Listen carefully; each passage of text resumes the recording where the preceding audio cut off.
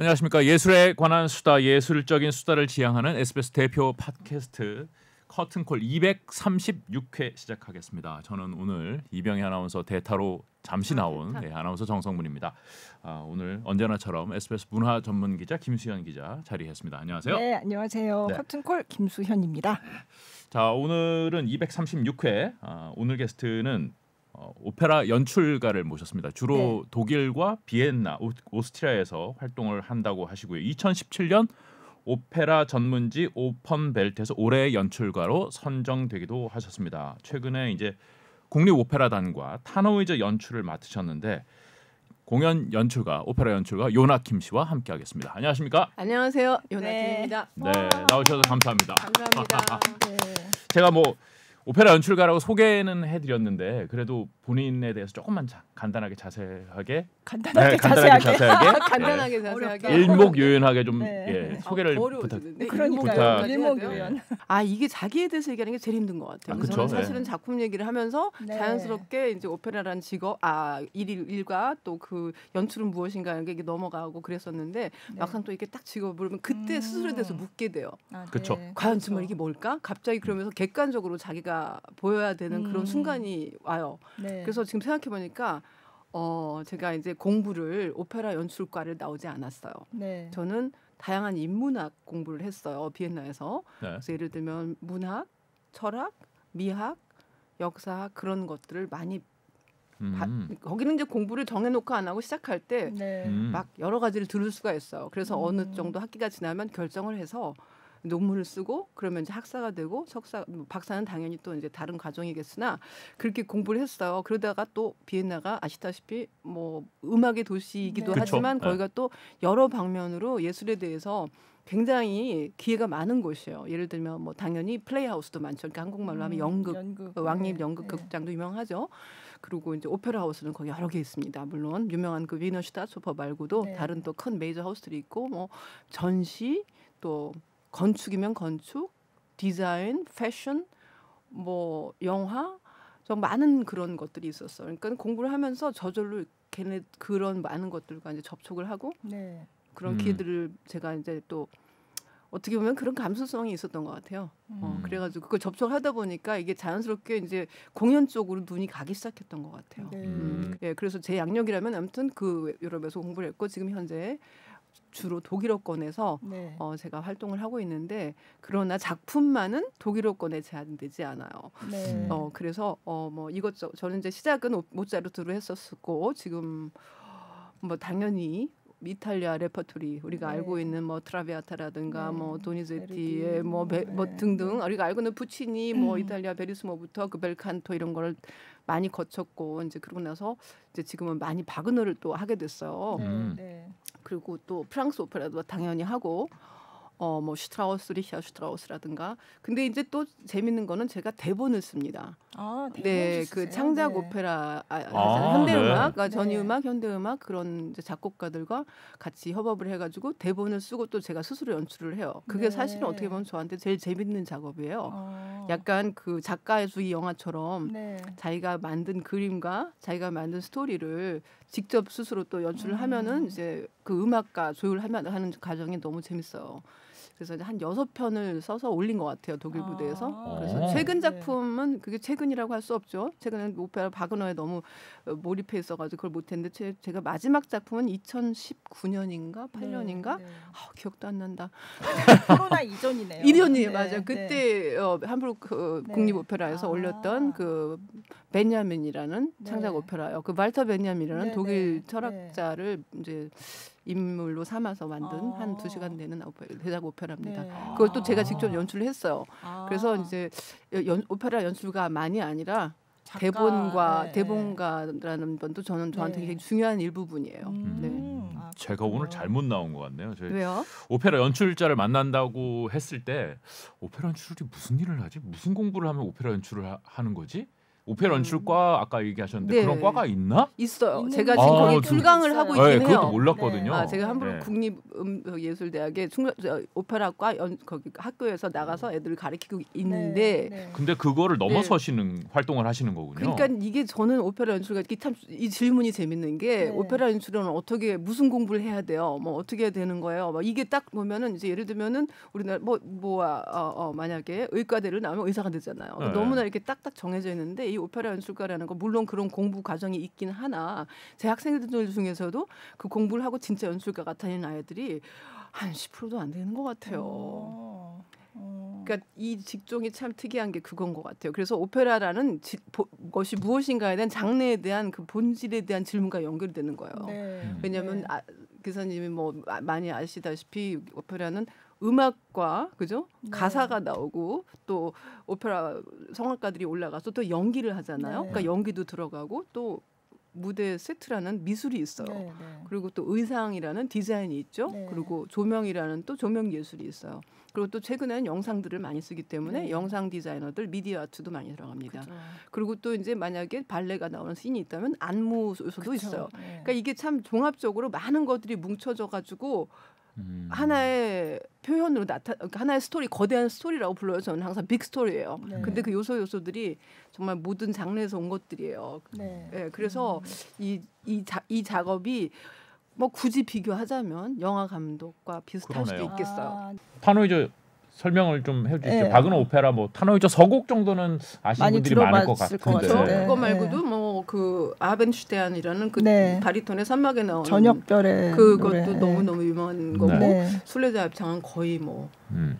멜로디 그쵸. 들으면 네. 다들 어디선가 네. 들어본 거 아닌가 그 싶은 보면 거예요. 남성 합창단이 여기저기서 연주한 게 많이 있더라고요. 그쵸. 네, 그리고 네. 서곡은 또 당연히 그렇죠. 네. 다들 어- 어디선가는 들어보셨으나 이게 무슨 곡인지는 모르는 그쵸. 정말 그런 음. 멜로디들이 많이 있어요. 음. 근데 네. 그게 전체가 아니죠. 이 사실 감- 서곡을 들으면 뭔가 이거의 구조가 좀 보이는 것 같다는 느낌이 들잖아요.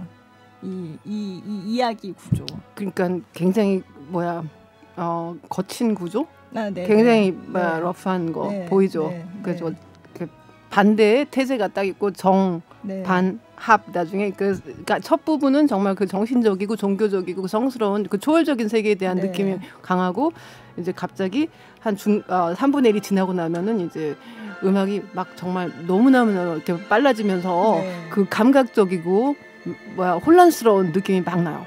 네. 그러고 나서 이제 그게 굉장히 오래 가다가 그게 점점점 잦아들면서 다시 어 음, 처음에 정반 나왔던, 합하면은 네. 이제 합이 되는 것처럼 네, 네. 좀더 다른 또 성스러움에 음. 그 뭔가 더 초월되는 느낌이 네, 나요. 그래서 네. 이게 세부 부분으로 나와 나눠져 있는 것 같아요. 서곡이 네. 그, 그런 의미에서 이게 이제 어떻게 보면 오페라의 그 스토리를 그냥 대, 어, 진짜 크게. 구조로 보여주는 것 같아요. 그러나 그 안에 들어가면 너무나 많은 디테일들도 숨어 있죠. 음, 그걸 보 찾아보는 재미가 네. 오페라인 것 같아요. 네. 이렇게 저, 답을 정해놓고 생각하면은 서곡만 들으면 되지 그 나머지를 뭐하러 듣겠어요. 아, 그, 그렇죠. 아 그쵸. 그렇죠. 서곡만 근데 듣진 않죠. 지금 서곡 들으면 이제 네. 내용이 비슷하게 나왔으니까. 네, 근데 네. 막상 들어가 보면 또 그죠. 네. 그래서 신기한 게 저는 그 산막을 시작하기 전에 전주가 나와요. 네. 그 이제 서곡 정도는 아닌데 어떻게 네. 보면은 전주가 노래 안 나오고 기악으로만 좀 나오는데 그 부분이 저는 굉장히 더 음, 저한테는 음. 어, 작품과 더 상관이 있는 것 같고 아, 재밌었어요, 아, 개인적으로. 아, 그리고 엄청 현대적이고 네. 그리고 이게 어디로 튈지 모르는 그런 음악이 거기에 있습니다. 음, 예, 거- 그걸 좀 더 들어보셨으면 좋겠어요. 네. 그 유명한 서목곡은 다 아시니까 네. 산막 시작 전에 나오는 그그 서곡 공연을 전이. 보신다면 그거를 꼭 그걸 좀 네, 들어보셨으면 네, 좋겠어요. 네, 왜냐하면 신경 거기서. 진짜 많은 질문들이 생기거든요. 네. 어, 타노에저가 이제 죄를 탕감받기 위해서 로마의 순례자들을 따라가잖아요. 네. 그래서 용서를 구하려고. 근데 로마에 가는 그 길을 묘사하는 거거든요. 가서 네. 교황을 만나서 이제 죄를 용서해 달라. 그 신을 그 신이 안 나와요 산막에서는 음. 타노에저가 로마에서 돌아오는 것부터 시작을 하거든요. 네. 근데 그 산막 시작 전에 그 서주는 그의 그 로마 행을 네. 음악적으로 표현을 한 거죠. 음, 음, 그래서 네. 우리 상상의 영역인데 그것은 네, 네. 그 사람이 가서 어떤 일을 당했을까 네. 그거를 정말 기가 막히게 표현했다고 음. 생각해요 저는. 네. 네. 네. 제가 읽은 네. 타노저는 어음 약간 이중 이중모랄과 이선 위선적이고 편협한 그 사회의 도그마에 대, 저항하는 음, 네. 어떤 한 개인이자 남자이자 네. 천재적인 예술가 음. 탄허이저라는 인물이 네. 그 안에 자기 속에 있는 또 모순이 있지 않겠습니까? 네, 인간인 네. 이상 네. 예를 들면 구체적으로 말해서 이 베누스와 엘리자베트라는 두 여자 네, 두 사이에서 여- 갈등하잖아요. 네, 네. 그 여자들이 또 대표하는 바는 한 명은 그 감각의 세계, 네. 또한 명은 정신의 세계. 정신. 네. 그걸 갈등하면서 또 자기가 부닥친 그 사회의 이 부조리와 그 위- 위선성과 제가 참 이걸 읽으면서 많이 느낀 게 야 이게 참 중세가 됐든 그 당시 배경이 중세이나 중세가 됐든 바그너가 살던 19세기가 됐든 지금 21세기가 됐든 사람이 모여서 만든 사회의 어떤 이데올로기랄까 어떤 사회만의 그 질서 그거는 참 편협한 거구나. 음, 그래서 거기서 뛰쳐나가거나 다른 생각을 하는 사람들을 용서하지 않고 네. 그 사람들 포용하지 못하는 거는 참 아직도 변하지 않았나 그런 생각까지 할 음, 정도로 음. 굉장히 이게 너무 잘 표현돼 있어요. 네, 그래서 그 네. 사이에서 힘들어하고 힘, 그러니까 그걸 막 겪어내는 거죠. 이. 근데 네. 그 여성들은 또 그 남자의 그 자기 모순 속에 양극단에 서 있는 여성 캐릭터들이고 네. 이제 거기 나오는 이제 작은 그 역할들 볼프람 폰 에셴바흐가 네. 그 저녁별의 노래라는 걸 부르는 아, 바리톤 역할인데 그분은 이제 그걸 모든 걸 보면서 네. 친구도 이해하고 이 음, 엘리자베트. 사회의 맛 네, 이상한 면도 보이고 네. 그리고 엘리자베트의 고통도 이해하고 또 베누스의 또 나름의 그 열정도 이해하는데 아무것도 할 수 없는 아. 그러니까 정말 우리와 같은 real, 아. 우리의 리얼한 생각 그렇잖아요. 그렇게 네. 강렬하게 어떤 걸 원하거나 어떤 색채가 있지 않잖아요. 우리는 모든 면이 동시에 있고 항상 좀 비겁하잖아요. 그래서 항상 회색지대에 살고 있잖아요. 그걸 또 표현하는 캐릭터가 또 말터 그 몰프람 폰 에셴바흐가 있어요. 아. 근데- 근데 그게 이제 결말을 얘기하면은 이게 네. 제가 한국 스포일러 싫어하잖아요. 아, 네. 그래서 네. 그거 말씀을 안 드리는데 네. 너무나 기가 막히게 우리들의 얘기인 거예요. 아직도 음. 이게 음. 유효하구나. 그게 네. 좀 무서운 거죠. 왜 이렇게 안 어, 변하지? 어. 왜 역사는 가르치나 학생이 없다 이런 말이 있죠. 음. 네. 역사는 늘 똑같이 가르치고 있고 항상 지적해주고 있는데 우리는 그걸 배우지 못하는 그렇죠. 것 같아요. 음. 네. 근데 이제 이거를 내용을 이제 좀 알아보려고 보면 네. 대부분 뭐 뭐 남성이 이제 여성의 희생에 의해서 사랑에 의해서 구원받는다 뭐 이런 식으로 설명하는 얘기들이 많거든요. 그 설명을 저는 읽을 때마다 네. 너무 화가 나는 거예요. 네. 이거는 참 너무 편한 설명인 거잖아요. 네. 그래서 이걸 저는 이번에 들여다보면서 제가 바그너가 이게 다섯 아홉 번째인데 작품이요. 대부분 거기에 나온 여성들이 다- 알다시피 다 엘자. 센타, 예, 예. 음, 그리고 또 당연히 뭐 어, 브린힐드 브리닐드. 막 다들 막 남자를 위해서 애, 그렇죠. 막 힘들어 예, 하다가 맞아요. 죽어가는데 그 여자가 죽어야지 그 남자가 남자 구원받아요. 된다는 거야. 맞아요. 다 그런 식이에요. 예. 근데 그거는 저는 해석의 문제도 있지만 물론 바그너가 그런 엄청난 에고이스트긴 했었던 것 같아요. 네, 실제로 예. 엄청난 에고이스트였고 다 가지고 싶어 했던 거야. 그러니까 정신적으로 자기를 감싸주고 희생해줄 여자도 필요했고 한편으로는 또- 쾌락도 예, 예. 필요했어요. 예, 예. 인간적이죠. 근데 예. 그거를 대놓고 그렇게 어 했던 사람도 또 용기도 있는 거죠. 기가 막히게 용기가 네. 있는 거죠. 우리는 네. 중간에서 이루지도 그쵸, 못하고 그쵸. 저러지도 예, 못하는데 예. 이 사람은 그거를 다 풀면서 살았던 것 같아요. 음. 그래서 이걸 작품을 녹여냈는데 제가 어 여러 작 바그너를 하면서 느낀 거는 이 대척점에 있는 여자들이 많이 나오잖아요. 네. 항상 이 사람은 이런 여자, 희생녀 그죠. 아니면은 이 쾌락녀. 네, 근데 그런 사람들이 실제 존재하지 않잖아요, 사실은. 그렇죠. 너무 극단적이에요. 그러니까 예. 저는 그래서 이 사람이 어떤 자기의 얘기를 하기 위해서 어 극단화를 시키지 않았을까라는 생각을 하게 됐어. 일종의 태제처럼, 일종의 음, 이론처럼, 네. 약간 실험실처럼 네. 우리 생각과 감정을 실험해 보기 위해서 그래서 모든 작품에 그 그렇죠. 런 구도를 그 구도를 네. 만드는 거예요. 구도라는 네. 말이 좋네요. 그 네. 구도를 만들어 가지고 우리에게 생각의 재료를 준 것 같아요. 음. 물론 그의 인간성과 그의 그 전기를 보면 그런 면도 뭐 없지 않아 있어요. 편력 뭐 네, 그런 네. 것도 없지 않아 있는데 네. 현대 우리는 그 작품을 우리식으로 읽어낼 필요가 또 있지 않겠습니까? 네. 그래야 또 더 재밌고 음. 그럴 때 저는 이걸 보면서 예를 들면 구- 이거는 너무 구체적으로 얘기해야지 말이 될 것 같은데 예를 들면 베누스 같은 경우에는 이막에서 네. 그 음유신의 전쟁에서 네. 이제 사랑이 무엇인가에 대한 막 토론이 나옵니다. 네, 네. 사랑은 정신적인 거다. 음, 완전히 플라토닉해야 이게 네, 이게 진정한 이게 사랑이다. 진정이고 또 예, 이게 예. 이제 영원하다. 네. 아니면은 뭐 아니다. 사랑은 만지고 느끼고 음. 세화, 세화해야지 사랑이다. 그래서 막 주거니 받거니 막 싸움을 합니다. 그 네. 토론에서 신기한 게 어, 타노에저가 이 편협하고 정말 이 위선적이고 위중 모랄을 가진 그 바르트북이라는 그 사회 사람들에게 정말 도전장을 내밀듯이 사랑은 그런 게 아니라 그러면서 막막 비웃거든요 네, 신랄하게 네, 네. 그럴 때 엘리자베트가 그걸 보고 있다가 네, 너무 좋아하면서 일어나가지고 네. 막 흥분을 하는 거예요. 아 그렇게 돼? 그런 지문이 나옵니다. 아 그래요. 음. 그런 지문들을 제발 자세히 읽어주세요. 어. 음. 그러면 바그너가 그 여자를 정말 그렇게 클리셰하게 네. 너무나 정신적이고 맨날 기도만 하고 맨날 음. 희생하고 울기만 하는 여자는 아니었다는 거를 아, 찾아볼 수. 자기한테도 그런 힌트들이- 욕망이 있었던 그럼요. 거죠. 저는 그 네. 여자가 욕망에 너무너무 시달리는데 네, 네. 사회에서 요구하는 그 역할 때문에 표현하지 음. 못했던 거라고 볼 수 있다고 생각해요. 네, 왜냐하면 네. 제가 주장하는 게 아니라 바그너의 텍스트에 그게 어. 힌트로스처럼 숨어 있어요. 그 음. 사람이 숨은 그림처럼 숨겨놓은 것 같아요. 그거를 네. 안 읽고 지나가는 분들이 많아요. 음. 그래서 저는 그거를 발견했을 때 네. 역시 내 추측이 옳았어. 아, 어. 아. 그럼 그 그게 음. 무대에 표현이 돼야 돼요. 그럼요. 표현해야 그죠. 되죠. 그게 제 네. 역할이죠. 네. 제가 찾아, 음. 찾아낸 원석들을 저는 이제 다듬어서 그림으로 만들어서 그렇게 숨기지 않고 관객들이 보고 이해할 수 있게 풀어서 음. 큰 그림을 그려야죠. 아, 네. 그러니까 연출자에 따라서는 그거 그냥 지나가는 사람도 있을 그렇죠. 수 있지만은 그- 그렇죠. 그런 거를 찾아내서 음.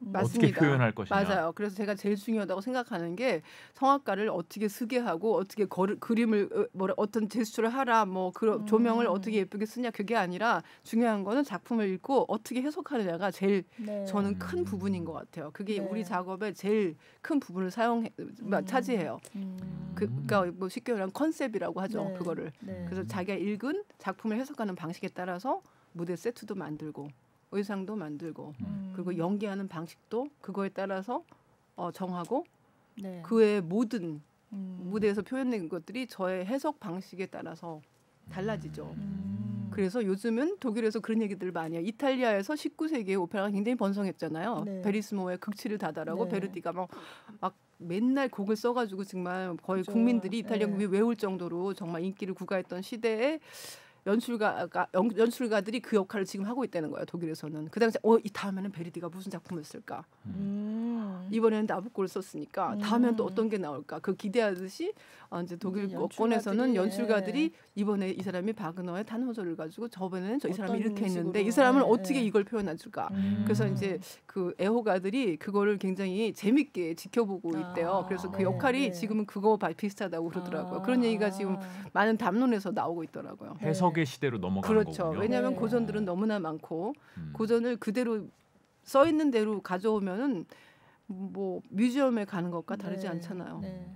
근데 극장은 음. 살아있는 거고 우리 관객들하고 호흡하는 거기 때문에 동시대인들이 알아볼 수 있고 자기 네. 연상작용을 사용해서 감동도 받을 수 있고 또 거부할 수도 있어 있어요. 그죠? 그걸 네. 뭐다 찬성할 필요는 없지 않겠어요? 음.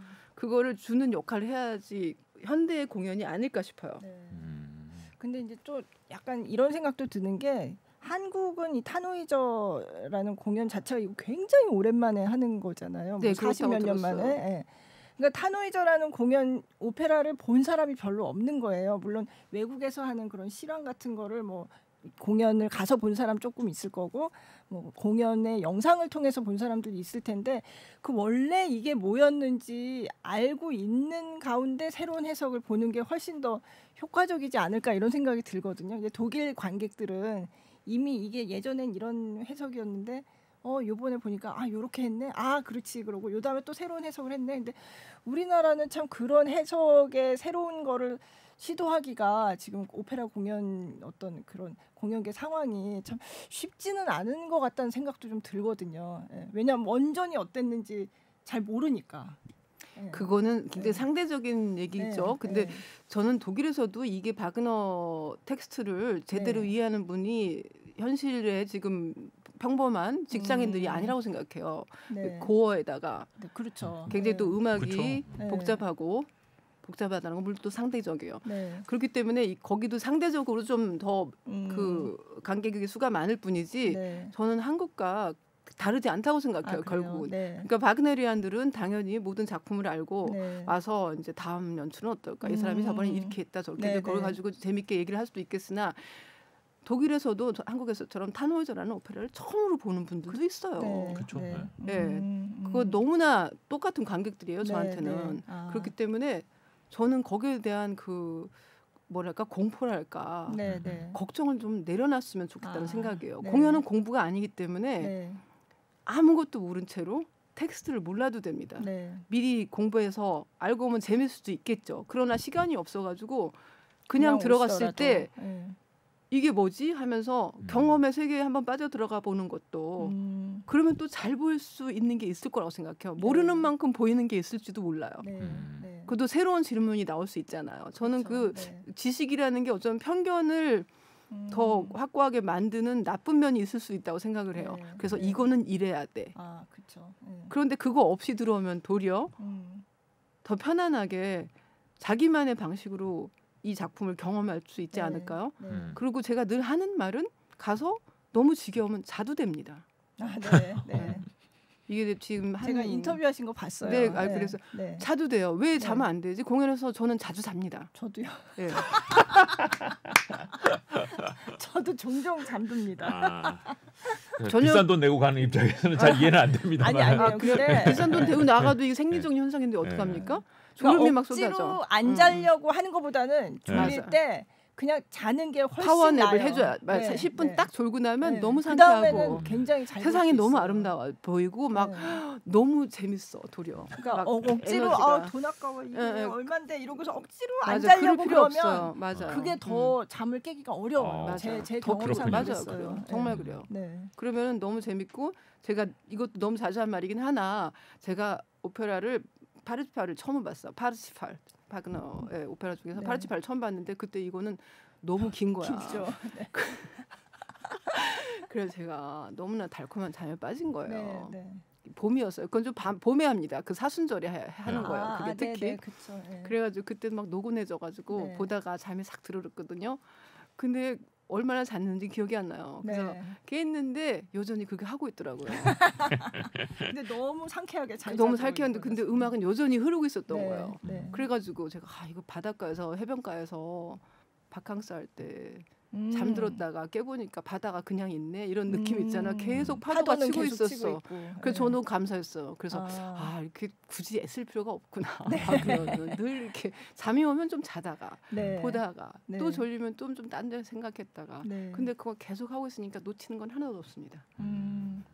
사실 그래요. 바그너 오페라가 굉장히 긴 게 많은데 그래도 이거는 조금 그 중에서는 맞아요. 좀- 이거는 뭐 보통 네. 입문자용이라고들 하죠. 이 사람이 네. 32살에 쓴 거잖아요. 그래가지고 네. 아직도 이탈리아 오페라의 그 형식이 많이 남아 있어요. 음. 음. 근데 이탈리아 오페라의 형식 이 남아 있어서 그래도 좀 그렇죠. 그래서 우리 귀에 좀 쉽다라고 하는데 익숙하죠. 그러면 그렇지 않은 바그너의 다른 오페라는 예를 어떤- 들면 네. 링 니벨룽의. 반지 네. 그 사이클이죠. 제가 그죠. 2년 전에 그걸 이제 내한곡 연을 했어요. 저희 독일 마나임 국극장 국립극장에서 우리가 프로덕션으로. 250명의 내한을 했었어요. 그러니까. 대구에서 하셨더라고요. 예, 그때 그 네. 국제 오페라 페스티벌 네, 유네스코 문화 어, 문화 어, 음악의 창 뭐 그런 네, 네. 프로그램이 있었는데 아, 거기서 초청을 네. 받았는데 이제 그 당시에는 대구에서는 제가 한국 사람인지도 모르셨던 것 같아요. 아, 예, 그래서 아 만하임에서 이번에 새로운 링 사이클을 만든다. 아. 그러면 아 그래요? 우리가 초청할게요. 그랬는데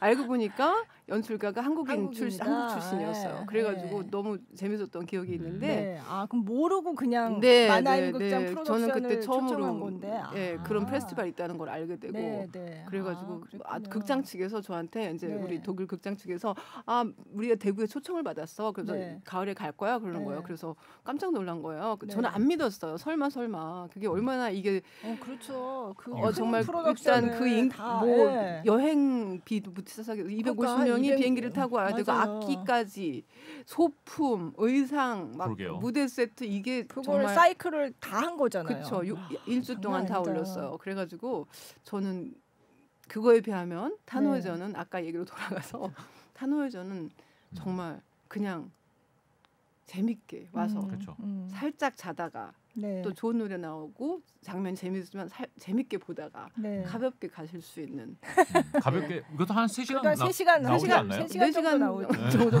가볍게 4시간. 근데 거기 인터미션이 두 개 있어요. 네. 아, 네. 그거 합쳐서 네. 네. 시간이 좀 넘는 네. 걸로 알아요. 근데 음. 음악 길이만은 어, 3시간 조금 넘어요. 네. 근데 이제 아. 인터미션을 합쳐서 아, 예, 40분을 인터미션 플러스 하면은 네. 그 정도 되는 거예요.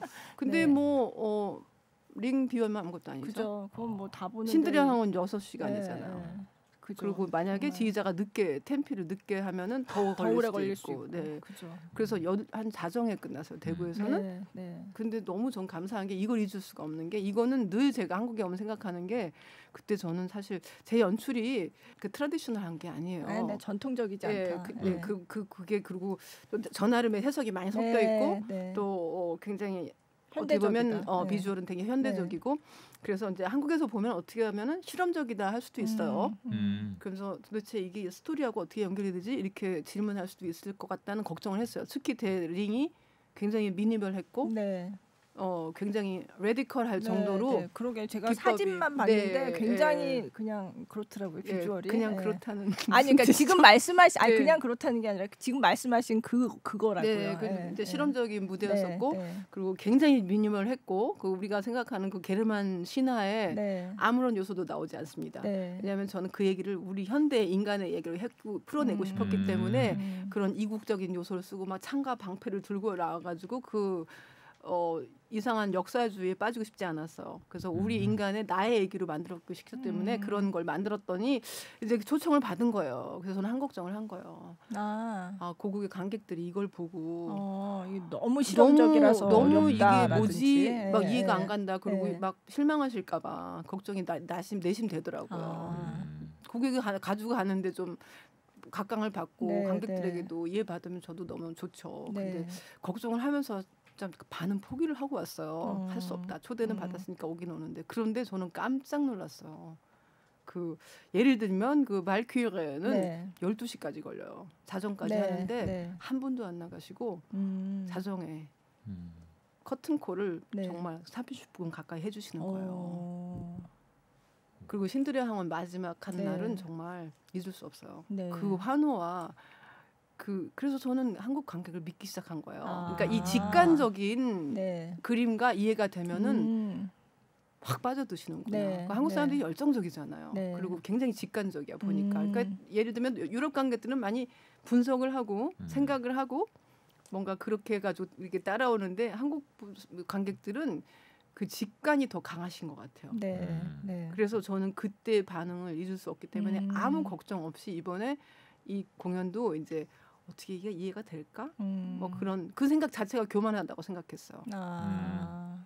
음. 내, 내가 최선을 다해서 내 식으로 이게 관객들 어느 나라가 됐든지 어느 시대가 됐든지 그분들에게 직관적인 인간적인 얘기를 해서 제가 드리면 분명히 이걸 이해하는 분이 있을 거다라고 네. 저는 확신해요. 네. 그럼 네, 이번 네. 타노이저도 좀 실험적이고 급진적이라고 생각하시나요? 이번에 진짜 카메라 쓰신다고. 저는 그거를 네. 몇년 전부터 많이 쓰고 그러니까요. 있어요. 네. 카메라를 쓴다는 게 뭐예요? 라이브 카메라가 무대에 같이 다니면서 네. 어, 출연 그 성악가들의 표정이라든가 음. 움직임을 클로즈업 해가지고 실시간으로 네. 송출해서 보여줘요 네. 무대의 일부로. 음. 그럼 카메라를 든 분은 배우 누가 아니요 해요? 그분은 이제 카메라맨인데 아, 그 전문 카메라맨인데. 카메라맨인데 이제 그 사람도 의상이 있죠. 아. 그래서 우리의 일부로 녹아나죠. 네, 근데 네. 카메라를 들고 와가지고 음. 가까이 와서 찍고 그러면은 우리가 멀리서 일단 관객이 머니까 네, 안 보이는 네.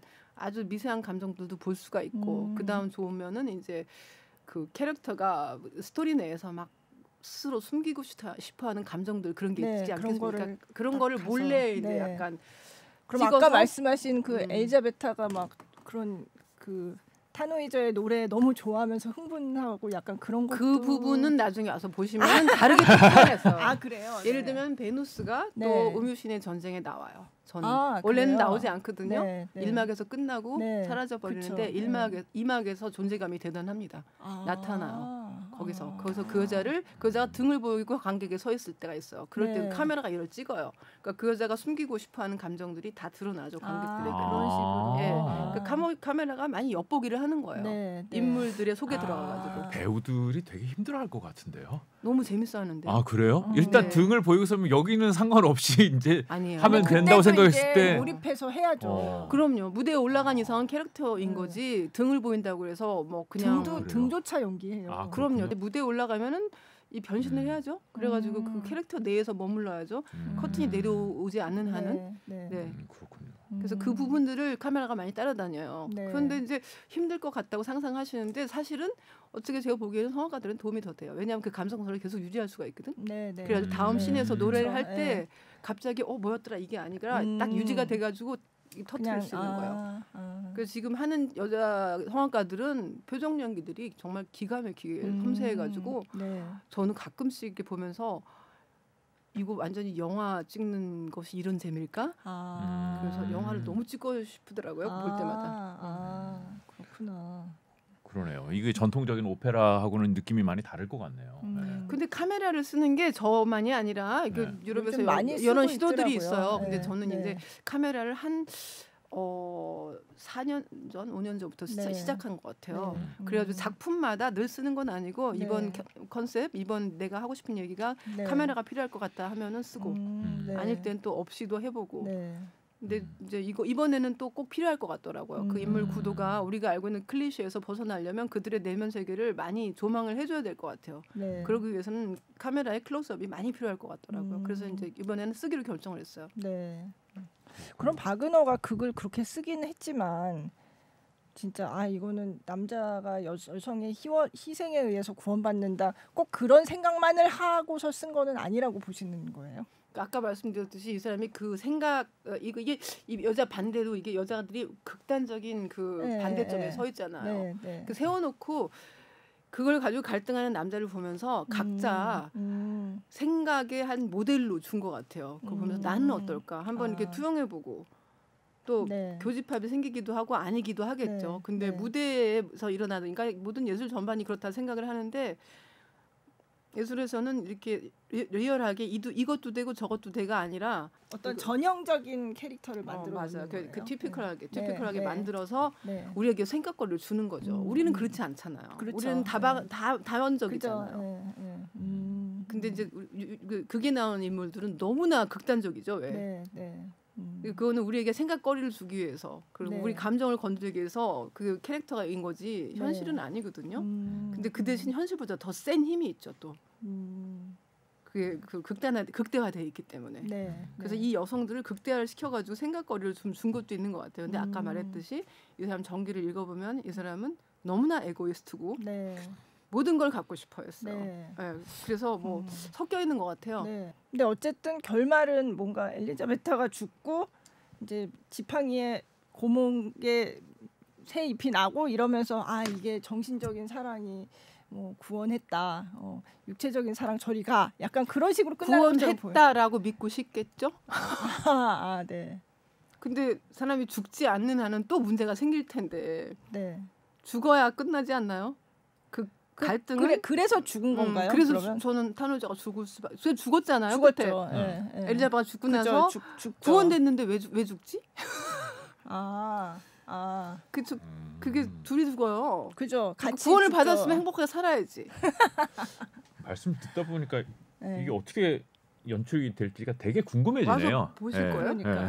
봐야겠네요. 보세요. 네. 네. 그래서 이거는 결국은 아까 그 작품으로 돌아가 보면은 탄호 여자가 그 구원을 받고 네. 받자마자 죽거든요. 네. 그래서 이제 사람들은 아 뭐 그러고 나서 음악이 너무나 천상에 그렇죠. 합창이 막 나오면서 모든 게 이제 예. 다 네. 해결된 듯한 결말이 네. 생겨요. 네. 근데 이 사람은 근데 이제 구원도 되는데 이제 행복하게 편안하게 살아야지 왜 죽지 하는 질문을 안 하시더라고요. 음. 그래 죽는 근데 천상에 음, 가서 엘리자베타랑 그 천상에서 천상의 사랑을 나누면 네? 그런 그런 걸로 음, 그러면- 생각하고 음, 그렇게 쓰지 않았을까요? 그럴 수도 있겠으나 천상에 가면 다시 베누스가 그립지 않을까요? 작품에 계속 그 도돌이표로 되더라고요. 예, 예. 엘리자베트 하고 있을 때는 베누스가 그죠? 너무 그립고 예, 베누스 하고 있을 때는 또 엘리자베트가 맞아요. 그리운 거예요. 그러니까 타노이저가 너무 변덕인 거예요. 그러니까 예. 저도 그 사람 그래서 예. 저희가 direction 할 때 그 타노이저 우리 하는 그 가수들 두명 있는데 예. 어쩌면 이렇게 변덕이 많아 얘는. 이거 주면 또 저거 달래. 그러니까. 그쵸. 저거 주면 또 이거 달래. 예. 그 만족을 못 하고 음. 그래놓고 맨날 자기만 힘들다고. 아 지금 가수들 얘기하신 거예요? 아니요. 아니요. 캐릭터, 캐릭터 어떻게 하신 거죠? 가수들, 네. 가수들은 그렇지 않죠. 캐릭터 타노에저가 아, 그렇게 네. 변덕이 심해요. 네. 갑자기 음. 어 이렇게 살면 안, 안 되겠다 돌아가겠다. 그러니까 그러고. 나는 막 예. 푸른 나무가 있는 곳으로 그러니까, 가야 돼 예. 막 이러고 가놓고 또 가놓고서는 또 다시 베누스 얘기를 하면서 나는 예, 거기 가야 돼 예. 이러고 너무 생각이 바뀌어. 그렇죠. 그래서 이게 젊은 바그너가 혹시 32살 때 이게 초연을 하긴 했으나 이걸 네. 쓰는 거는 그 전일 거거든요. 네. 그래서 저는 굉장히 자아상 같은 생각을 많이 합니다. 아, 음, 아, 그 캐릭터가 네. 사회 적응을 잘 못하는데 네. 엄청 성공은 하고 싶어요 또. 아, 바그너가 야심가였잖아요. 예. 그러니까 세속적인 성공을 원했어요. 네. 작곡가로서. 네. 커리어에 대한 그 obsession 강했던 사람이에요. 그런데 동시에 또 뭔가 고상한 뭔가 예, 그그또 고귀한, 지금 예. 현- 그- 그 전통적인 건 싫은 거예요. 또 예, 그러니까 예, 이- 이단하기도 한 거야. 아, 네. 그 모순을 안에 갖고 있었고 또 여성에 대한 것도 너무나 자기 작품 이해해주고 자기의 모든 죄를 자기의 방탕한 생활을 다 막 포용해주는 여자를 원했는가 하면 그게 또 지루한 거야. 그래서 또 너무나 매력 있고 네. 막그 감각적인 여성을 또 네. 동시에 원하고 음. 그래서 저는 이걸 읽으면서 야 그럼 자, 기 얘기하는 건가 그런 아, 생각을 많이 했어요. 아, 네. 그래서 이게 안 보인다고 생각하고 했나? 아 이런 작품을 내가 쓰면 내가 그렇다고 사람들이 생각할 텐데라는 자각이 없었을 없- 것이다. 없, 없고 다, 다 보이는데 아, 네. 이거 모르다고 생각했나 그 생각이 들더라고요. 그러니까 자기 자, 그 젊은 바그너의 자화상 같은 네. 그런 느낌이 네. 좀 없지 않아 있어요. 네. 음. 아. 음. 젊은 예술가의 초상 네. 음. 그런 텍스트도 있죠. 근데 그 네, 생각을 그쵸. 많이 했어요. 네. 굉장히 많이 투영한 인물인 거는 확실해요. 네. 자화상이라고 굳이 뭐 1대1도 아니더라도 음. 타노에저의 자기 자신을 토영한 건 네. 사실일 것 같아요. 네. 당시 음악계에서 굉장히 이단화 역할을 하고 싶어 했었고 네. 그런데 또 성공도 하고 싶었고 음. 굉장히 음. 힘들게 살았잖아요. 젊었을 때. 근데 참 타노이저나 여기 등장하는 많은 사람들이 원래 있었던 인물이라면서요. 네, 이게 네. 많은 인물이 이제 만약 뭐 실제적인 그 넌픽션 인물들을 통폐합을 했겠죠 아무래도. 네, 네. 근데 그 음유시인이라는 직업이 있었잖아요 옛날 네. 중세 유럽에. 네. 그들은 정말 현대로 치면은 뭐 어, 저널리스트이기도 하고 네. 뭐 오피니언 리더이기도 하고 네. 시인이기도 하고 정치적인 네. 요소도 많고 그 당시에는 이제 신문이나 메신저 같은 SNS 같은 이런 게 없었으니까 아, 성과 성을 다니면서 음. 소, 소식을 전하고, 전하고, 또 예. 그 소사이어티의 뭐 문제들을 또 네. 나누고 그러면서 이렇게 어떻게 보면 정말 기자님들인 거예요 그들이. 아, 네. 예, 그러면서 또 생각을 나누고 음. 당시에 또 사회적인 문제에 대해서도 네. 토론을 하고 그런 것들이었어요. 음유신 이러면 막 그냥 너무나 고운 노래만 부를 것 같잖아요. 아, 네. 근데 그들의 정치적인 역할이 굉장히 컸어요. 음. 근데 그 네. 음유신의 뭔가 그 경쟁을 하는 거죠. 대회를 하는 그쵸 거잖아요. 이막에서 그거 네, 하고 있죠. 네, 예. 근데 네. 이제 탄호이저는 실존 인물이죠. 네. 탄호이저라는 그 중세에서 유명했던 다- 음유신이 있었어요. 네, 근데 그분이 중세 말 정도에서 있었던 분인데 그렇게 달랐다는 거예요. 자기 동료들과. 어. 그래가지고 당시 이제 중세 말이니까 네. 그 정신적인 거에 대한 숙매가 극악했겠죠. 모든 네. 것이 말기에 가면 또 극악해지잖아요. 네, 네. 그래가지고 중세에는 정말 모든 게 막 하늘의 뜻이고 우리는 음. 정말 죽어야 마땅한 존재들이고 그런 시대였잖아요. 그때니까 더욱 더 금욕주의가 심했겠죠. 네. 근데 이제 그 타노이저라는 그 실존 인물이 그거에 대해서 엄청난 신랄한 시를 썼어요. 아, 비판적인 아, 네. 풍자, 음. 네. 시, 음. 그러면서 정말 신랄하게 비웃은 거죠. 네. 그래서 이제 어, 성공을 못 하는 거지 그러니까.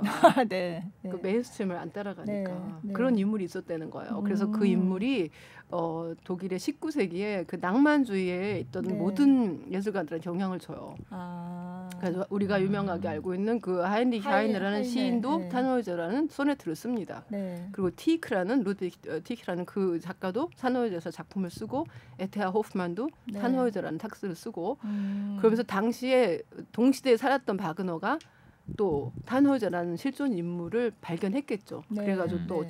연구를 해봤겠죠. 네. 그래서 이 모든 그 당시에 존재했던 뭐 역사적인 사실이나 또 동시대에 자기 동료들이 쓴 그런 책들을 다 연구를 해가 통폐합을 해가지고 이 오페라를 만들었을 것 같아요. 음. 네. 얼마나 읽었는지는 저도 모르겠으나 네. 동시대 네. 인물들이었기 때문에 음. 아마 영향을 줬겠죠. 근데 네. 이 인물이 그 당시에 굉장히 트렌디했던 것 같아요. 제 아, 느낌에. 아. 그러니까 그런 작품들이 많이 나왔다는 이유는 네. 그 당시에 젊은 예술가들한테 통하는 게 있었던 거예요. 음. 그러니까 알고 보면 그들이 다또 젊었어요. 네. 그러니까 19세기에 어, 유럽의 특히 독일권의 상황이 안 좋았거든요. 음. 굉장히 네. 반동적이고 네. 또 교회의 힘이 세지기 시작했고 음. 그 혁명적인 학생들의 생각을 막 짓누르는 시대였어요. 네. 그러니까 아. 마 타노이저라는 역사적인 인물의 자기 동일시가 많이 됐겠죠. 네. 음. 그래서 음. 그런 작품들이 많이 나왔을 것 같아요. 네. 그러니까 음. 어떻게 보면은 이 오페라도 당시로 돌아가 보면 굉장히 어, 혁명적이고 음. 사회에 많은 질문을 던지는 비판적인 작품인 거예요. 네. 음. 이게 근데 젊을 때 써가지고 이걸 계속 고쳐서 그쵸, 여러. 판본이 그게 참 있다면서요. 재밌는 얘기예요. 저는 예, 그게 예. 이 작품의 어, 운명을 좀 얘기해 준 것 같아요. 그리고 이게 작, 어. 바그너의 그 인생과 좀 이렇게 교집합이 많은 것 같아요. 왜냐하면은 이 사람이 첫 정말 출사표처럼 던진 거 아닙니까? 자기 작품 이 젊은 야망가가 난 이런 사람이야 하고 자기 얘기를 한 것과 동시에 음악적으로도 많은 시도를 했어요. 다른 동시대 사람과 다른 바그너적인 거를 많이 시도를 시작하는 작품이기 때문에 이게 자기는 막 성공을 할 거라고 믿었겠죠. 이제 음. 너무 실패했거든요. 초연이 그야말로 정말 너무 욕을 얻어먹었어. 음, 야유를 폭망. 받고 폭망을 네, 맞아요. 그말 네. 좋다. 폭망을 했어요. 그래가지고 너무 실망을 해가지고 이제 이제 갖고 있다가 또 파리에 가가지고 파리가 당시에 이제 그 그랑 오페라의 네. 메카였습니다. 거기서 거기서 또 한번 발을 붙여보려고 이제 이 작품을 막 고친 거예요. 파리 네. 관객의 입맛에 맞게 하려고 발레 씬도 없었는 걸 만들고 막뭐 일막도 길게 쓰고 그러니까 어떻게 해서든지 이 작품을 세상에 막 설득시키고 싶었던 음. 거예요. 네. 너무 이해되죠. 근데 이제 거기서도 또 망했어요. 그러고 나서 이제 이제 뮌헨 빈 그런 비엔나 그 버전들이 또 나와요. 어. 어. 근데 그나마 이제 좀 통했던 게 비엔나 버전이었던 것 같아요. 네. 네. 그런데 이제 그 사람이 생각했던 것만큼의 엄청난 기가 막힌 뭐 성공이라기보다는 그래도 이제 드디어 음. 이거는 야유는 안 받게 되고 네. 그랬는데 거기서도 만족을 못했던 거야 바그너가. 음. 그래가지고 이제 바이오트 숙제를 만들고 나서 코지마한테 나는 아직도 타노여자가 완결이 안 된 것 같아. 그러면서 어. 음. 새로운 판본을 하나 만들어야겠다. 그러니까 이 사람이 이게 결판이 안 나는 거야. 그러니까 사회가 예술가의 그 관계가 평생 가는 자기 주제였던 거야. 네. 그러니까 그만큼 그래서 이 사람의 전기가 녹아 있구나. 음. 그 공연 역사를 봐도 너무 자기 얘기인 거예요. 네. 그러니까 이게 끝나지 않는 인생의 문제 음. 뭐 그런 것일 수도 있겠죠 이 사람한테는 어느 정도의 음. 사회 수능을 해야 되는가 아니면 그리고 정신과 육체 사에서 뭘 선택해야 되는가 아. 많은 질문들이 네. 그 나이가 들어서도 해결이 안 났던 것 같아요. 어. 근데 그걸 결국은 못 쓰고 죽었죠. 네. 아. 뭐 새로운 오페라 써서 새롭게 성공을 뭐 도전하고 이러는 동 그런 것도 했지만 다른 오페라도 계속 썼지만 이거를 특별히 더 자기가 아꼈다라고 생각할 수 있는 것도 아닐까요? 그러니까 이게 아꼈을 수도 있겠죠. 근데 네. 자기가 질문 던졌던 평생의 문제를 여기서 젊었을 때 바그너한테는 이게 되게 중요한 문제였다. 테마를 만들었는데 그게 풀리지 않았던 거야. 작품을 음. 아무리 쓰고 아무리 성공을 하고 아무리 어, 오래 살아도 그 질문에 대한 결정적인 마지막 대답을 못 들었다는 거 아닐까요? 네. 네. 그러니까 또 다른 판본을 쓰고 싶었겠죠. 음. 근데 이게 답이 없는 문제였는지 아니면은 일찍 죽어서 그런 건지 그건 우리가 알 수 없는 거죠. 네. 근데 그가 인정한 판본은 존재하지 않아요. 아 그래요. 그럼 요번에는 어떻게? 아 하세요? 이번은 제가 이번에는 서울 버전이라고 부르는데 네. 뭐 그죠 비엔나 네. 버전, 뮌헨 버전, 뭐 드레스덴 버전이 초연이에요. 그리고 네. 이제 파리 버전 이번엔 서울 버전이라고 부르는데 저는 저는 이제 지휘자님하고 처음부터 우리는 어떤 판본을 쓸까 막 음. 고민을 했어요. 그게 제일 중요하거든요. 어떤 네. 거를 쓰냐에 따라서 저의 해석 의도도 많이 보여줄 수 있고 그래서 저는 그 젊은 바그너의 야망과 그 거친 다듬어지지 않는 그 원석의 느낌이 많은 초, 초연을 쓰자 일단 네. 그게 저한테 중요했어요. 아. 그때 그 폭망한 거 네. 네. 그걸 쓰되 근데 조, 조연에서 좀 아쉬운 점은 그 베누스라는 그 감각 감각의 세계를 표현하는 여성이 비중이 좀 작아요 일막에서 아, 아. 그랬는데 파리 버전에서는 일막이 베누스가 굉장한 비중을 갖고 오래 자기에 대한 얘기를 하고 그래서 캐릭터에 대한 설득력이 훨씬 더 강해요. 네. 그리고 훨씬 더 좀 다차원적인 것 같았어요. 음. 그래서 저는 이 여자와 벨- 엘리자베트 두 여자 그 유형을 대척점에 놓고 그거에 대한 얘기를 풀어갖고 싶었기 때문에 둘다 네. 똑같은 비중이기를 원했어요. 아, 네. 그러니까 일막은 파리로 가자. 아. 음. 그 이막부터는 이막은 다시 드레스덴으로 가자. 네. 음. 근데 드레스덴에 가되 막 너무나 긴 장면들이 있어요. 합창단과 막 soloist들이 같이 앙상블이라고 부르는데 우리가 그거를 오래 부르는 장면에서 바그너가 좀 반복을 많이 했어요. 음. 젊으니까 하고 싶은 말이 많았겠죠. 네. 그래서 거기서는 좀 더 tension을 높이기 위해서 살짝 살짝 삭제도 좀 했어요. 아. 좀 잘라낸 거죠. 음. 지저분한 아, 부분을 네, 어떻게 보면 네. 그래서 커팅을 조금 하고 그래서 결과적으로는 이제 서울 버전이 나온 거예요. 아. 그 과정은 음. 다 지휘자님하고 같이 그렇죠. 그거는 네. 지휘자하고 같이 항상 네. 조율을 해야 되죠. 네. 음악적인 부분도 중요하니까. 음. 그리고 저의 해석도 중요하고. 근데 너무나 다행히도 제가 이렇게 판본을 두 개 섞어서 쓰고 싶다. 베누스의 비중을 높이고 싶다. 그러니까 너무 금방 이해하셨고 아, 네. 좋은 생각이다. 그래가지고 네. 빨리 동의해 주셨고 어. 따라와 주셨고 네. 그리고 이제 다른 제안도 많이 좋은 것도 있었고 아, 그래서 음. 뭐 give and take 하면서 네. 좋은 판본이 나온 것 같아요. 음, 그럼 파리 버전에는 발레를 넣었다 그랬는데 여기는 발레는 안 들어가는. 안 썼습니다. 네. 그걸 Bacchanal이라고 부르잖아요. 네, 근데 그게 네. 저는 굉장히 작위적이고 음. 장식적이고 당시 관객들에게 그야말로 서비스를 하기 위해서 네, 오락용으로 만든 거기 때문에 전 작품과 본질적인 관계가 있다고 생각하지 않아요. 네. 그래서 그거를 뺐어요. 네. 네. 근데 저는 아 가서 봐야 되지만 그 비너스의 세계를 어떻게 표현하셨을까 되게 궁금해요. 네. 네. 그게 참 클리셰죠. 그것도. 그렇죠. 막 쾌락과 활락의 네, 여성 그래가지고 네. 뭐막 너무나 그러면 막 악령 거야. 이 네. 남자를 막 그 유혹에 빠뜨리고 이 불쌍한 타노여자를 그, 그 말도 안 되잖아요. 근데 사실은 누가 뭐 있으라고 그랬나? 자기가 찾아왔잖아요. 그래놓고 다시 간대는데 네. 네. 뭐 가둬놓은 것도 아니잖아. 근데 스스로 자기 발로 온 남자한테 음. 이 여자가 유혹했다고 그 여자한테 죄를 돌리는 것도 참참 말도 안 되는 거지만 네. 그런 식으로 어, 전통적으로 표현을 많이 했죠. 네. 근데 저는 그렇게 보고 싶지 않았어요. 네. 베누스도 여성의 일부일 뿐이고 여성이고 그 감각과 정신은 누구나 동시에 갖고 있지 않아요? 네. 근데 제가 아스- 말씀드렸다시피 이 여자 둘은 어떻게 보면 정말 전형적인 어, 이론인 거예요. 그래서 만약에 이 여자가 두, 두 명을 세워놓으면 저는 한 여자가 될 거라고 생각을 해요. 아, 왜냐하면 베누스는 이게 어떻게 표현해야 되나? 베누스는 엘리자베트의 이면이고 아, 또 네. 네. 음, 엘리자베트는 베누스의, 베누스의 이면이다. 이면이다. 그래가지고 아. 각자 거울을 보듯이 음. 이 여자를 보고 있으면 나의 다른 내면이 보여요. 네. 나의 네. 숨겨진 감각, 나, 내가 시달리는 욕망 표현하지 못하나 음. 그리고 또 금지되어 있기 때문에 그러나 어 너무나 강렬한 그 욕망을 표현해 너무나 쉽게 표현해 주는 사람이 베누스잖아. 근데 네. 베누스는 또 너무나 정열적으로 사랑하지만 또 정열 너무 사랑하면 또 외로워요. 근데 이 여자가 너무 자기 감성과 자기 열정에 충실해. 네. 그래가지고 항상 외롭잖아. 베누스 는 항상 음. 혼자 있습니다. 이 오페라에서 네. 아무도 없어요. 친구도 없어. 음. 주변에. 음. 근데 이 여자의 또 그 외로움은 뭘까? 음. 그리고 이제 이 여자가 사실은 어쩌면은 어 엘리자베트 같은 면이 속에 어쩌면 있을 수도 있다. 음. 그래서 제가 이 산막에서 어, 두 여자를 같이 마주보게 하는 씬이 하나 있어요. 아. 서로 거울을 보듯이. 네, 네. 음. 음. 보통 그런 장면이 나오지는 않는데 저는 그 여자들의 두 구도가 음. 이 작품을 어, 해석하는데 가장 중요한 네. 키라고 생각했어요. 네. 음. 그래서 이제 베누스의 비중과 엘리자베트는 똑같은 비중으로 나오고 네. 우리가 알고 있는 그 클리셰한 이 여자는 정신력인 여자, 이 네. 여자는 뭐 쾌락적인 여자 네. 이게 아니라 그들의 이면을 숨겨져 있는 정말 너무나 다차원적인 많은 부분들을 제가 한번 표현하고 싶었어요. 아, 네. 네. 네. 타노이저의 저녁별의 노래라는 아리아가 또 유명한데 김태한 씨가 퀸 엘리자베스 콩쿠르에서 불렀던 음. 어, 장면 잠깐 들어보겠습니다.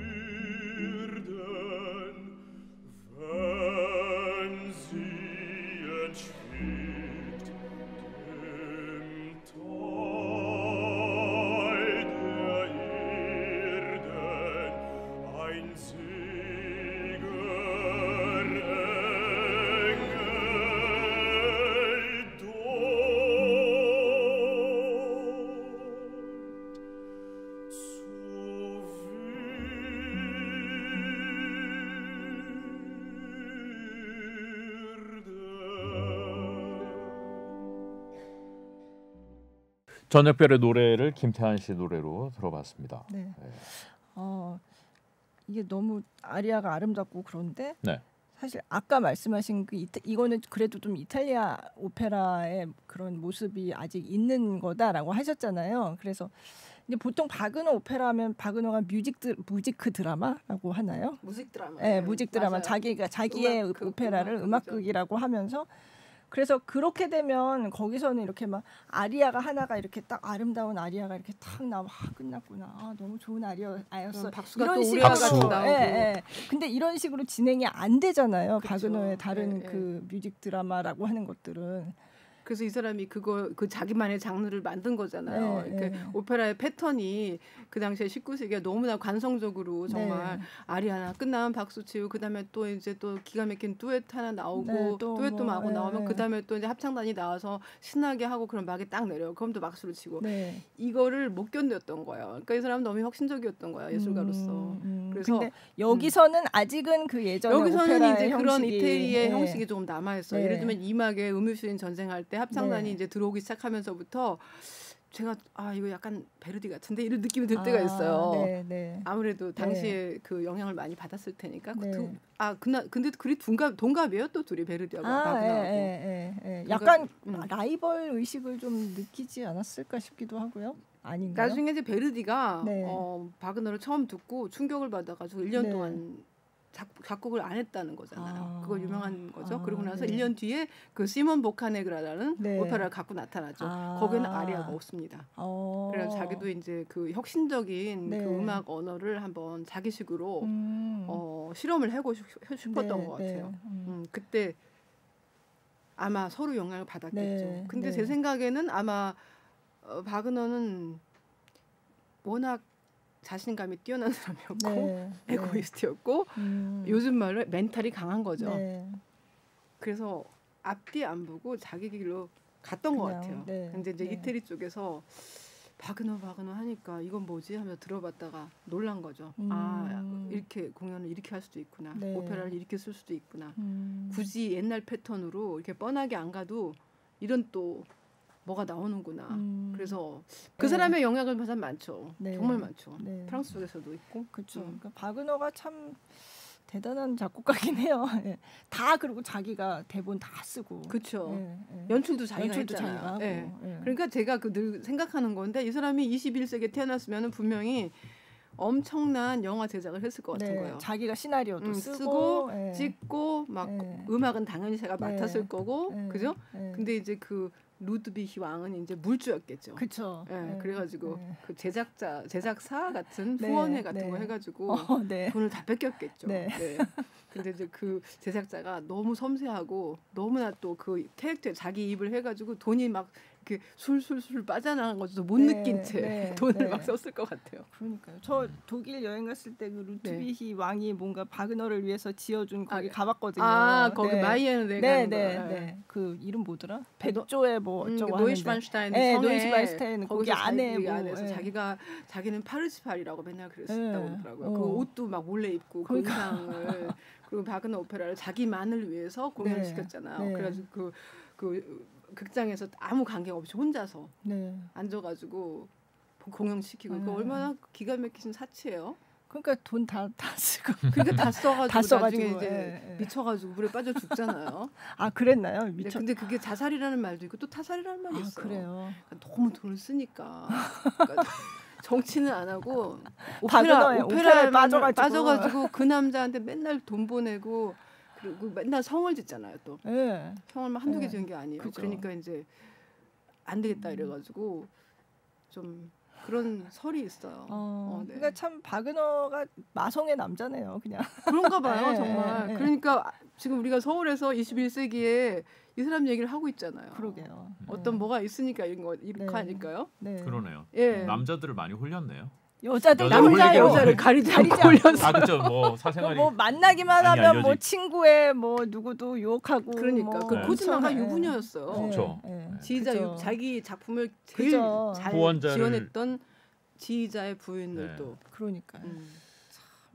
여러 그리고- 사람 홀리는 박은호가 지금까지 사람을 홀리고 있고 오늘 이제 서울에서도 서울에서 그렇죠. 근데 홀리지 않을 수도 있어요. 아 그쵸 그쵸? 그냥 어, 음. 홀림을 당한 사람이 있는가 하면 또 안 홀려질 수도 있고, 아우 난 네. 너무 지루해, 싫어, 너무 길어 이럴 수도 있는 거고, 음. 뭐 그거는 그죠. 이, 뭐 이래야 된다는 건 없는 것 같아요. 네 우리가 네. 박은호에 대해서 겁내할 필요가 없는 것 같아요. 아, 난 너 싫어 음. 이럴 수 있잖아요. 그쵸 예. 근데 막 어, 이건 왠지 좋아해야 될 것 같고 막 왠지 또 막 거룩해야 될 것 같고 이거는 아닌 것 같아요. 공연은 일단 재밌어야 되고 그 재미없는 네. 사람은 나가면 되죠. 근데 나가는 건 좀 실례니까 참고 주무, 시다가 네. 인터미션 시간에 살짝 귀가하시면 되거든요. 물론 저는 개인적으로 너무 재미있어서 네. 모든 인터미션 시간을 다못 기다려가지고 빨리 들어가서 다시 보고 싶다 음. 이런 거는 제 욕심이나 네. 누구나 다르니까 네. 네. 네. 아, 강요하고 싶지 않아요. 네. 네. 그거는 진짜 중요한 거예요. 와서 너무 재미없고 증오하고 뭐 그럴 수도 있어요. 음. 짜증 날 수도 있어요. 네. 그리고 너무 좋을 수도 있어요. 그 반응에 대해서는 제가 사, 뭐 왈가왈부지 않으나 일단은 본 다음에 얘기를 해야죠. 음. 보지 않은 거에 대해서는 얘기를 할 수가 없는 거예요. 네. 처음에는 어, 저도 네. 너무 지겹고 네. 너무 뭐, 왜 이런 철학적인 얘기를 노래로 해야 되지? 그러면서 막 이해가 안 갔어요. 네. 근데 이제 이거는 하면 할수록 좀 이렇게 뭐 씹을수록 곱씹을수록 그런 음. 맛있는 음식도 있고 이거 네. 음식에 비유하는 건 아니지만 네. 음. 먹을 게 많아요. 그러니까 예를 들면은 네. 이거는 제 음식에 비유하면 뭐 이제 맛있는 금방 들리는 곡들 있잖아요. 네. 어, 특히 이태리 쪽에 많죠. 음. 프랑스 쪽에도 많고 그런 거는 정말 한 입에 달아요. 그래가지고 또 먹고 싶은데 자꾸 먹으면 질리거든요. 음. 근데 박은호는 이게 처음에는 좀 먹기 힘든 것 같은데 자꾸 먹을수록 뭐랄까 새로운 맛이 난다고 그러나 음. 자꾸 음. 뭔가 먹을 게 많아지고 네. 네. 어, 근데 박은호는 네. 좀 박은호는 뭐예요? 막 저는 그 막 정말 한 일주일 동안 막 오래 구운 오븐에다가 오래 구운 막 큰- 곰, 곰탕이에요? 아니요 큰 저기 그 통째로 구운 돼지 한 마리 아, 그래서 먹을 게 많아. 너무 많은 거예요. 막 여러 부위를 예, 다막 뜯고 그러니까. 스킨도 먹고 막 다리도 있고 그죠. 그때 그걸 또 끓여서 먹을 수도 있고 다음에 뭐 놔뒀다가 또 먹을 수 있고 그죠. 근데 정말 고아 먹고 네. 삶아 먹고 보관했다가 햄으로 막- 먹을 수도 있고 그죠. 한달 뒤에 먹을 수도 있고 네, 네. 뭐또 남은 거는 또 끓여서 먹을 수도 있고 네. 막 그렇잖아요. 또 맨날 돼지만 그치, 먹을 수는 그러니까 없잖아요. 가끔은 또 네. 신선한 회를 먹고 그죠. 싶고 뭐. 생크림이 또 땡길 때도 그렇지. 있고. 그러니까 네. 다 각자 니즈가 있는 것 같아요. 그죠. 근데 왜냐면- 네. 원래부터 좀 음악에 취미가 있고 오페라를 좋아하셨어요? 그렇지 않았어요. 아 그래요? 저 오페라 너무 싫어했습니다. 어 근데 네. 어떻게 그러니까 이게 참 세상이 어쩌면 인생의 계획대로 안 되는 거더라고요. 저는 네. 제가 지금 이 나이에 오페라를 하고 있으리라고는 꿈도 못 꿨어요. 제 학교 다닐 때는. 어. 예, 저는 이제 직업을 열어놓고 생각을 했었고 당연히 이제 네. 어 굳이 규- 규정을 하자면 하면 영화를 만들고 싶다 아, 이런 생각을 좀 네. 했던 것 같아요. 네. 소녀 시절에 뭐 네. 영화를 좋아했으니까 음. 그리고 책을 많이 좋아했고 근데 이제 음악은 당연히 좋아했죠.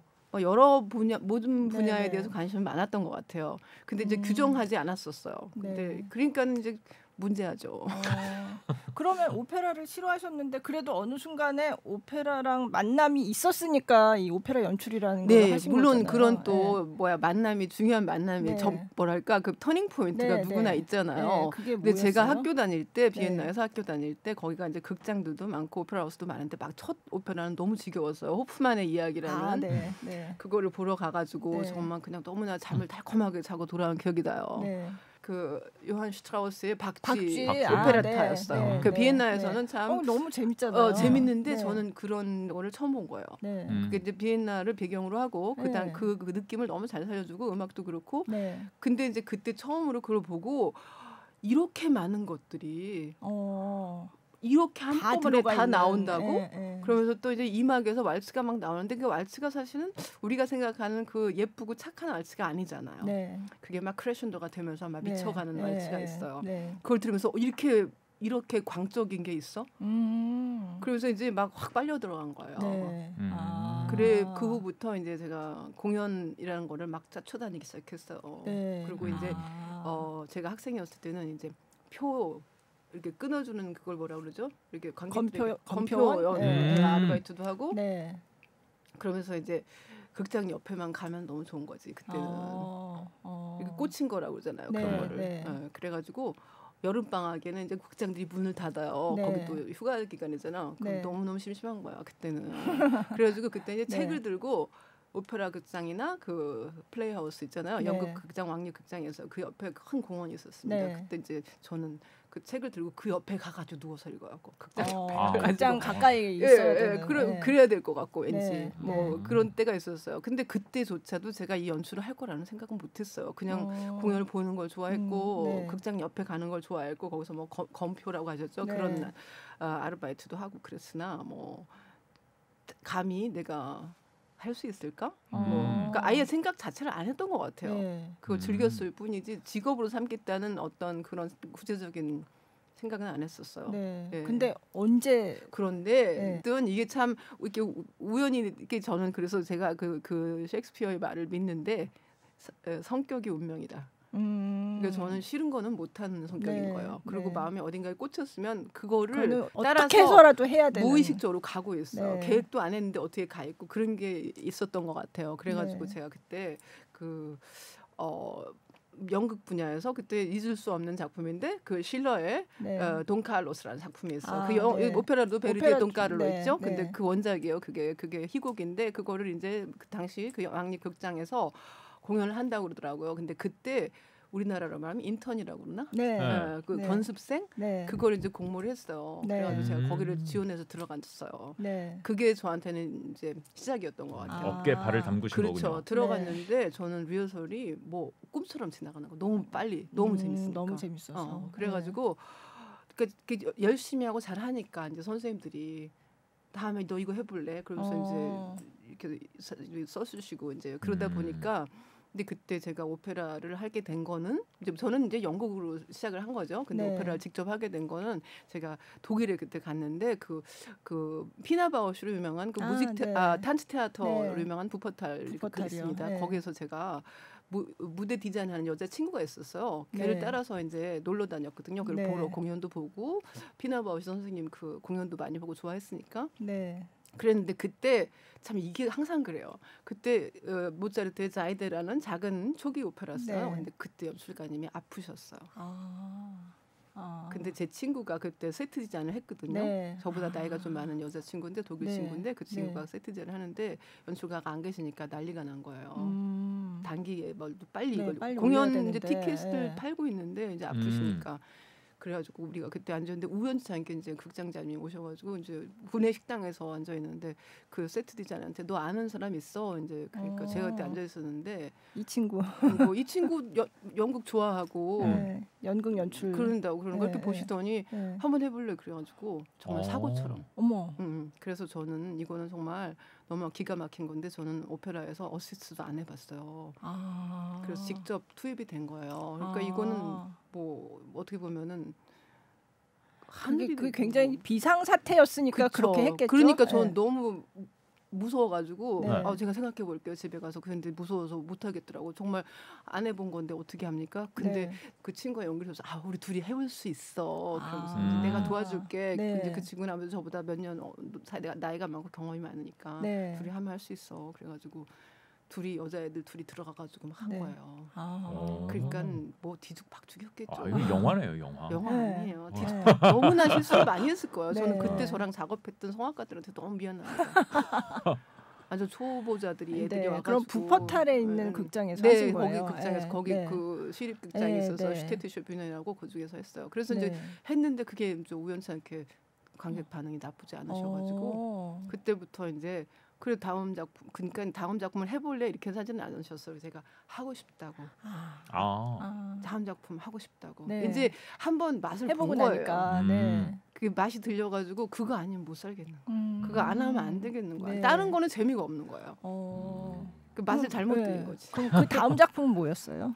그 다음 작품이 기억이 안 나네. 너무 너무 남을 많이 해가지고 그동안 네. 기억이 안 나. 아그 다음 작품이 아마 어, 연극이었던 것 같아요. 아, 또 네. 연극을 하나 네. 하고 그 독일 작품 중에서 에피브리스트라는 그 폰타네 소설이 있어요. 네. 그거를 제가 번안을 해서 연출을 네. 했어요. 음. 그러니까 소설을 극화해서 연출을 했어요. 그러고 네. 나서 했던 오페라 작품이 아 라트라비아타입니다. 라트라비아타. 그러니까 제대로 된 저만의 오페라를 한 거는 라트라비아타예요. 아. 그래서 그 작품에 대해서 제가 음. 개인적으로 네. 굉장한 애증이 있습니다. 애증이요.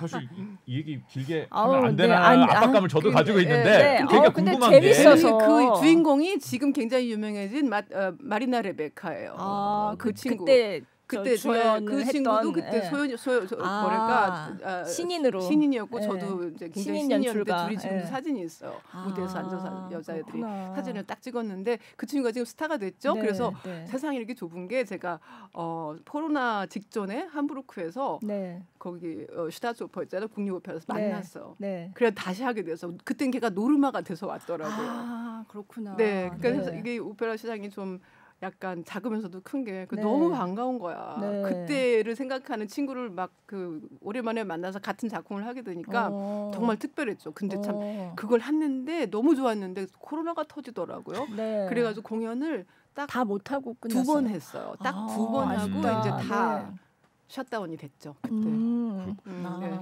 저 제가 여기서 궁금한 건 연출 연극 연출 하다가 네, 오페라로 넘어가셨잖아요. 뭐 연출도 연극 연출을 저희가 딱 두 개 했어요. 네. 음. 네. 어쨌든 근데 오페라는 음악이. 악보, 악보를 그래서 보셔, 보셔야 하는 거 되잖아요. 아니에요? 어, 예, 네. 맞습니다. 근데 제가 음악을 많이 좋아하긴 했어요. 어렸을 때부터 네. 클래식 네. 음악을.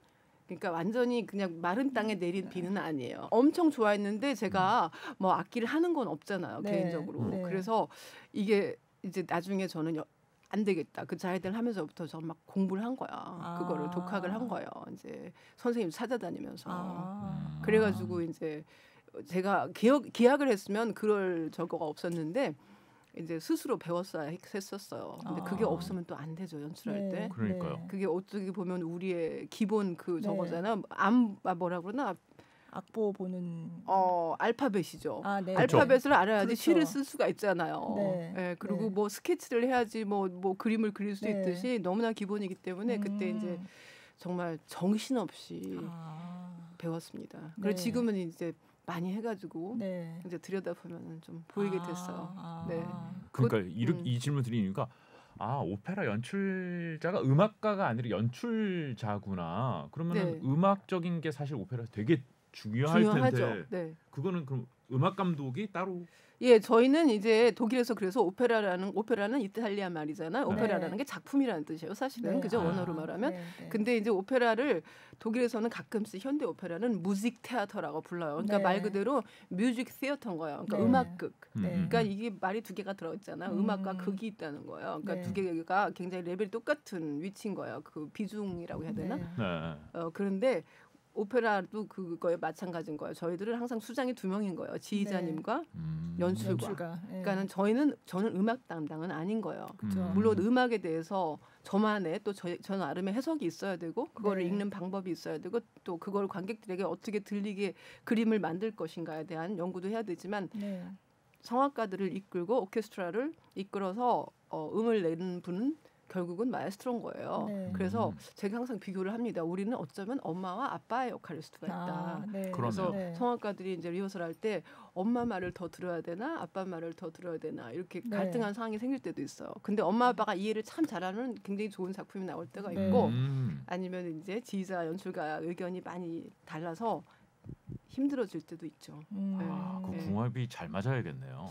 근데 또 저는 그게 궁합을 굳이 잘 맞는다고 해서 행복한 건 아닌 것 같아요. 막상 예술적으로 의견이 달라서 네. 둘이 굉장히 심하게 어, 부딪히고, 스- 예. 부딪히고 예. 싸우면 또 거기에서 뭔가 또 나올 때도 있더라고요. 그래서 이게 음. 정답이 없는 것 같아요. 아, 음, 그러니까 네. 조화롭다는 것만이 어, 예술의 토양은 아니라고 생각해요. 저는. 음, 네. 어, 그래요.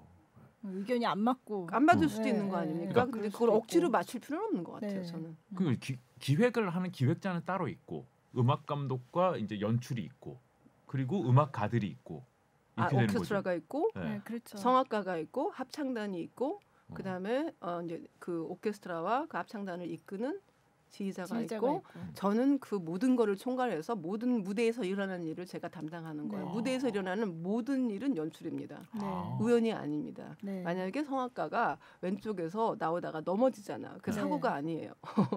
음. 의도된 것들이고 아니면 빛이 이쪽에서 이상하게 나온다. 이게 뭐지? 그것도 연출입니다. 음. 그런 것들은 뭐- 그러니까 무대에서 우리가 관객들이 보는 모든 것들은 연출의 일부예요. 어, 오늘 너무 재밌었어요. 네, 저로서는 굉장히 신기한 얘기들 을 많이, 아? 많이 들었습니다. 오늘 그 골라듣는 뉴스룸 커튼콜은 SBS 뉴스 홈과 네이버 비디오 클립 그리고 오, sorry. 팟빵, 애플 팟캐스트 등 오디오 플랫폼에서 그리고 유튜브 영상으로도 만나실 수 있습니다.